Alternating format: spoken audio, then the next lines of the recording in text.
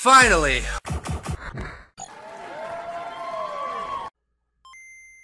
Hello, friends. My name is Brandon Dayton. I am your humble narrator, and welcome to my competitive Pokemon battling slash building guide, as requested by Sean Arnold of the Arnold's Play.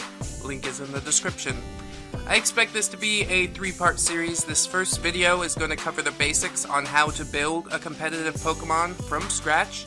The second video will focus on team building and synergy, and the final video should be about advanced tactics and battle strategies. So one of the most obvious, and arguably the most important starting points is the typing of your Pokemon. There are a variety of weakness charts available on the internet to be studied, and I would suggest committing them to memory as best as possible, or at least referring back to it as often as possible. Some combinations are fairly obvious, like the ubiquitous fire, water, grass starters, but even as a veteran I tend to forget how things like fairy or ghost interact. Type interactions sometimes change between generations, and once in a great while new types are even introduced. Since new Pokemon, items, and moves are introduced in each generation, the competitive metagame is constantly evolving. If you plan on trying a retro battle, it would be a good idea to note the history of past generations. Generation 1 had a metagame based on speed, since all critical hits were based on a Pokemon's speed. Generation 2, all the way up to Generation 4, was primarily dominated with stall tactics such as Toxic and Recover. Generation 5 and 6 have finally brought the hyper offense, but as expected, it is indeed the most balanced of these iterations. So once you feel confident about the strengths and weaknesses of your chosen Pokemon and know what sort of metagame it will be competing in, the first step to creating your competitive monster usually comes with breeding. Let's take everyone's favorite Pokemon, Blastoise. While he has a decent move selection via level up and TMs, you can actually hatch a Pokemon that knows a move that it couldn't learn any other way. Perhaps you want a bulky wall with Aqua Ring. Take a female Blastoise and combine it with a male Pokemon that learns Aqua Ring by level up and shares an egg group, and your Squirtle will hatch with the selected move.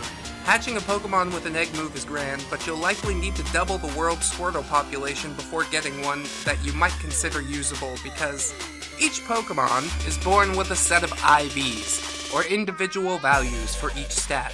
Assigned numbers range from 0 to 15 in generations 1 through 3, or 0 to 31 from generation 3 onward. To make our bulky Blastoise, we will need to aim for a 31 in HP, physical defense, special defense, and optionally speed.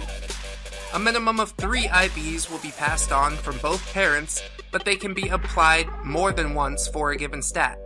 For the sake of argument, let's say both parents have all 31 IVs in all 6 stats. And instead of these stats being applied to our chosen HP and defenses, the game will sometimes apply the three parent IVs to the same stat, making it seem like only one IV had been passed down. Then the remaining 5 to 3 IVs will be chosen randomly. In addition to IVs, there are 25 different natures that manipulate the stats of a Pokemon. One stat will be increased and one stat will be decreased. There are also uh, 5 natures that don't do anything at all.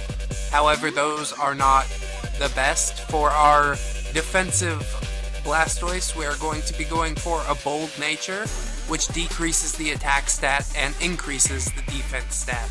This can be a frustrating process. Eventually, the Pokemon checker will inform you that you found a Pokemon with amazing potential in IVs in all the right places.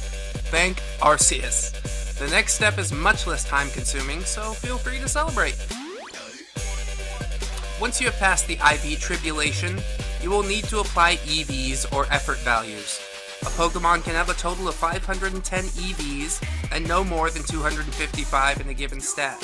Every 4 EVs adds another stat point at level 100. But wait, 255 isn't divisible by 4. So, to optimize your EVs, a maximum of 252 will allow you to squeeze in one more stat point into a stat of your choice. Blastoise makes a great mixed wall, but again, for simplicity's sake, we will make a physical defender with 252 HP EVs and 252 physical defense EVs. The remaining 6 can go into special defense. Every Pokemon defeated has a set amount of EVs attached to it, and any Pokemon that receives experience will receive the full amount of that Pokemon's EVs. Our Squirtle will be spending a lot of time in X and Y on Route 5 defeating Gulpin for 1 HP EV each, or Route 10 defeating Nosepass for 1 defense EV each. Now, defeating 255 of any Pokemon is a massive undertaking, but there are a variety of items that will assist you. One of the most interesting of these tools is Pokerus. This is a virus that has a chance to infect your carried Pokemon after each battle. Pokerus, unlike Poke AIDS, is indeed highly sought after since it doubles EVs after each battle. Pokerus can also be stacked with any of the six power items, that being the Power Anklet for speed, the Power Band for special defense, the Power Belt for defense, the Power Bracer for attack, or the Power Weight for HP, will add an additional 4 EVs onto every fight. So if you are fighting a Gulpin with a Power Weight attached, this will take the base EVs gained from the fight from 1 to 5. Stacked with Pokerus, the EVs gained will go from 5 to 10. So this cuts down significantly on training time.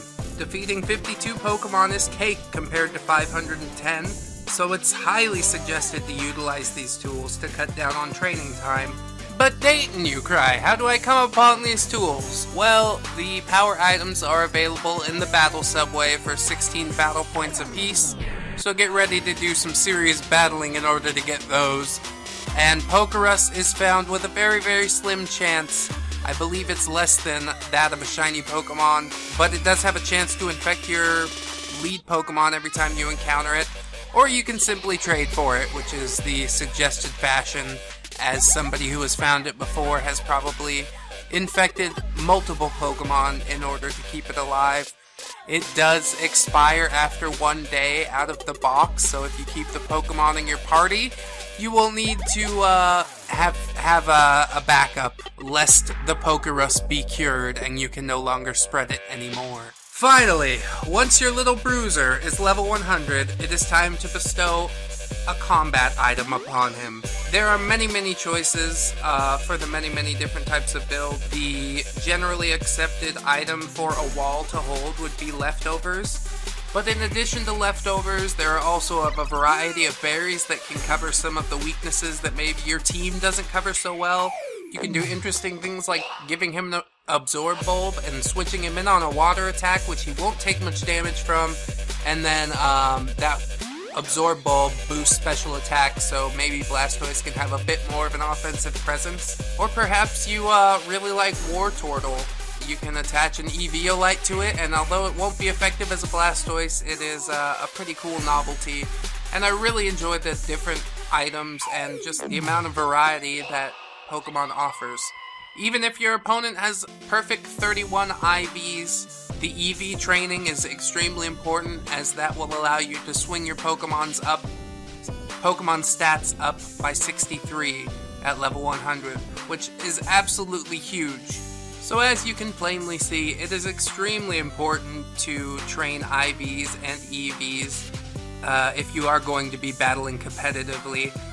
If you are playing on something such as Pokemon Showdown, Pokemon Online, then your IVs will probably be set to 31 automatically, so you don't really need to worry about all the breeding and such.